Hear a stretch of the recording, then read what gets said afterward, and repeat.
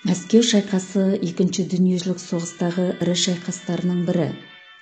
Мәскеу шайқасындағы қорғаныс ұрыстары 1941 жылының 30 қыркүйек 5 желтоқсаны және қарсы шабуыл 1941 жылы 6 желтоқсаннан 1942 жылының 20 сәуір кезеңдерінен тұрды.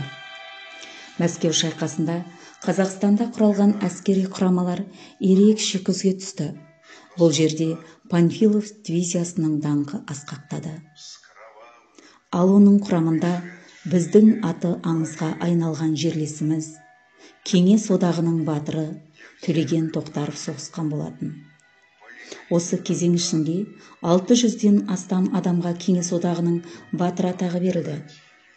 Мәскеу түбіндегі шайқаста жерлесіміз кеңес одағының батырлары майор копылов және де гвардия майоры клименко мәскеуді қорғауға қатысқан болатын.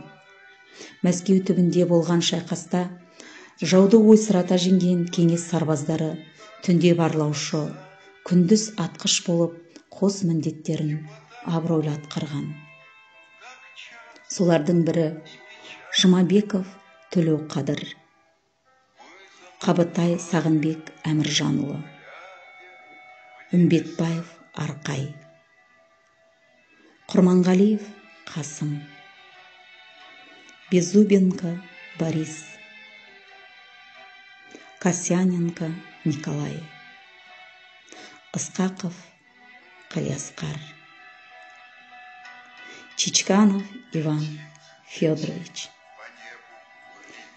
Иван павлович копылов.